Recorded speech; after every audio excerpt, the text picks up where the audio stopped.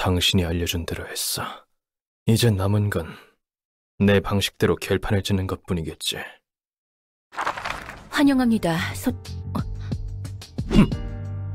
보라 눈물 말대로 넌 거의 인간에 가까워졌군. 더불어 도서관이 널 보호하는 힘 또한 약해졌어. 무슨 짓이지? 기계가 아닌 인간의 몸이라면 더욱 조심해. 하지만 목을 베었다 해도 넌 아직 죽을 수 없는 것 같군. 그 말대로야. 무슨 짓인가 싶었는데 죽일 수 없다 해도 가능한 것들은 많지만 너를 위해 구한 T사 특이점을 사용한 공방의 암살 장치다. 역시 힘이 있어도 세상 물정 모르는 놈이군.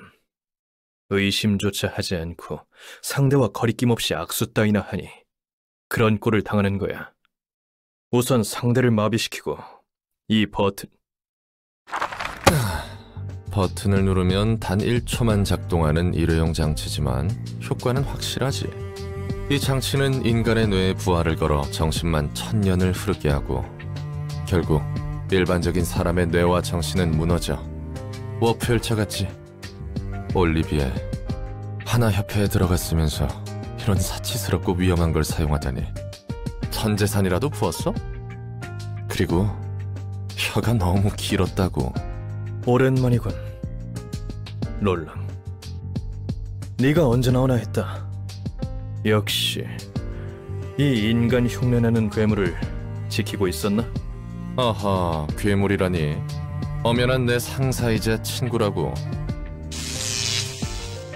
엔젤라, 이 친구는 나 혼자 상대할 테니 잠시 물러나줘. 고마워. 내 도움은? 혼자 처리해야 할 일이야. 내가 해결할 일이니까 걱정하지 마. 알았어. 도움이 필요하면 언제든지 말해. 롤랑. 이게 네가 말한 그 잘난 계획이었어? 정말 가치가 있는 일이야? 우리가 그동안 보고 싸운 쓰레기들과 다를 바 없는 일을 넌 이 기계와 함께 도서관에서 버린 거야. 이해해달라고는 안 할게. 받아라. 검은 침묵의 장갑이다. 이제 서로 빚이 없는 걸로 하자. 매번 고마워. 그리운 감각이네. 이걸로 마지막 도움까지 확실히 받았어. 지금 네가 이 지경까지 온 데는 내 책임도 있으니까.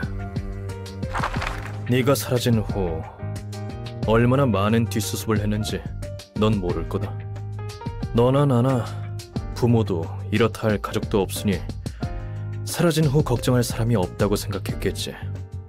그래도 난 찰스 사무소의 다른 놈과 다르게 꽤 걱정했다고. 장황한 말을 내려놓고 사라질 때는 여러 생각이 들더군. 그 말을 한 지 얼마 안 되고 검은 침묵으로 보이는 존재가 미치광이 상태로 도시를 들쑤시고 있다는 소식을 들었지. 온갖 의심스러운 실험을 하는 조직을 무차별적으로 학살하고 있다고. 무엇 하나 가릴 것 없이 말이야. 손가락부터 해결사 사무소까지. 게다가 남부에 있는 중지를 반쯤 박살냈다는 말을 들었을 땐 나도 반신반의했다. 인생의 모든 응어리와 원한을 도시에 토해내는 것 같았어. 만약 그런 거라면 중지뿐만 아니라 더 나아가 그 분노와 광기로 도시 자체를 무너뜨리려나 싶었지. 또, 또 과대 포장하네. 그때 검은 가면 너머의 네 눈을 본 사람은 누구라도 그런 생각을 했을 거야. 걱정해줘서 고마워. 나도 네가 어디서 재수없게 죽나 싶었어. 꽤 예전 일이지만 실제로 내가 그때 연락받고 급히 가지 않았다면 진작에 죽었을 테니까. 그날 짧은 연락만으로 아무 말 없이 와줘서 고마웠다. 뒷일은 미안해. 됐어. 어차피 나도 둥지 이주권을 얻을 수 있을지 모른다는 말에 부랴부랴 갔던 거고. 여러모로 미안하다. 다른 애들은 어떻게 지내? 오지에나 아스톨포 같은 애들 말이야. 날개에 들어가거나 유적을 탐사하거나 알아서 제 살 길을 찾고 있지. 우리도 예전 같지 않아? 너무 멀어졌어. 그렇구나. 어. 둘이 처음으로 도시 악몽 사건을 맡았을 때 기억나? 그 뭐냐 사건 이름이 16구 뒷골목에서 벌인 데미그라스 소스의 비법. 맞아 맞아. 거의 다 처리했는데 마지막에 네 팔이 믹서기에 갈릴 뻔했잖아. 그래도 내 처치 덕에 의수값은 굳었으니 천만 다행이었어. 그 일은 정말 긴장감 넘쳤는데 말이야. 말은 제대로 하자. 네가 소스 맛이 얼마나 대단하길래 이 사단이냐며 국자를 입에 들이대지만 않았어도 됐어. 또 또 한마디를 앉으려고. 하... 그래도 그때가 제일 재밌었어. 이런저런 일 신경 안 쓰고 눈앞에 있는 것에만 충실했으니까. 그래. 하지만 이제 그때론 돌아갈 수 없어. 롤라. 너도 그 모든 슬픔과 분노를 머금고 이 기계 곁에서 일했으니 많은 걸 각오했겠지. 알아. 서로 너무 멀리 왔지. 그래도 오랜만에 이야기할 수 있어서 좋았어. 올리비에. 난 이제 하나협회 해결사로서 할 일을 할 뿐이야. 동료들의 책을 회수하고 위험 요소를 처리한다. 그건 그거고 이건 이거잖아. 맞아. 그건 그거고 이건 이거니까. 시작한다.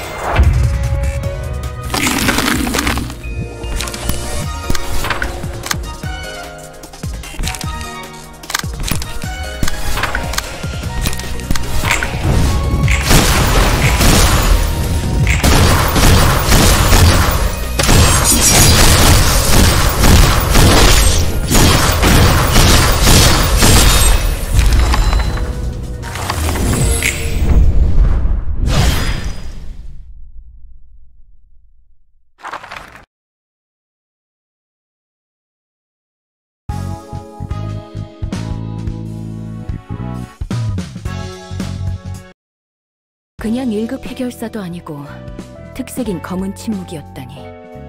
잘도 숨겼네. 이건 뭐 어... 말할 타이밍을 놓친 거겠지. 그동안 만난 해결사들은 어떻게 너를 알아보지 못한 거야? 한창 해결사로 활동할 땐 철저히 날 가면 뒤에 숨겼거든. 개인 정보가 조금이라도 새면 어떻게든 발목을 잡으니까. 예전에 내 곁을 떠난 할머니의 가르침 중 하나지. 숨기는 게 더 남았다면 적어도 들키지 않는 게 좋을 거야. 누군가에게 배신당하는 건 지긋지긋하거든. 반드시 대가를 치르게 할 거니까. 그래도 이번에는 날 구했으니 넘어갈게. 만약 지금 상태로 또 천년을 견뎌야 했으면 정말 어떻게 됐을지도 몰라. 할 일을 했을 뿐이지. 친구를 잃었는데 괜찮아? 그건 그거고, 이건 이거니까.